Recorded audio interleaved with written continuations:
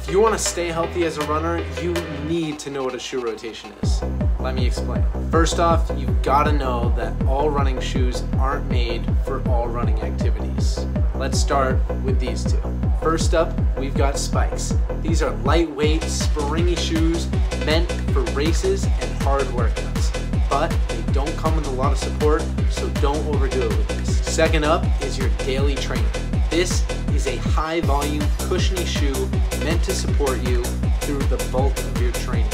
Very reliable and great through all stages outside of racing and super fast speedway. These are polar opposites, but there are some in-betweens. So stay tuned for part two because